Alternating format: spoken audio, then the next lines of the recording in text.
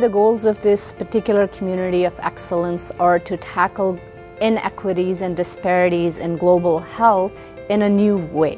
People lack access for various reasons. These include some gaps in science and research, in scaling up solutions that exist to areas that are hard to reach.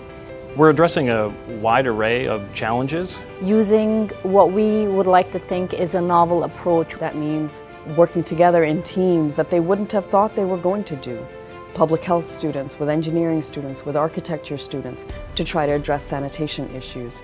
Engineers who are working on air pollution and exposure measurement to work with epidemiologists. There is a need of delivering uh, vaccines to the low-resource community. We can help develop solutions of making this logistics uh, become easier. What is close to my heart, for example, is the state of food insecurity or malnutrition or undernourishment both locally in our Western New York community but also globally. There are lots of ways to tackle that and many of those ways have been tried and tested and they have had some success but we're still in 2015 dealing with 800 million people in the world that don't have access to good food. In our community we're envisioning faculty and students working together to develop solutions in several thematic areas. These include child survival, growth and development, non-communicable diseases, infectious diseases, and refugee health. Those are challenges that we see in the city of Buffalo, are challenges that we see throughout the United States and in other regions.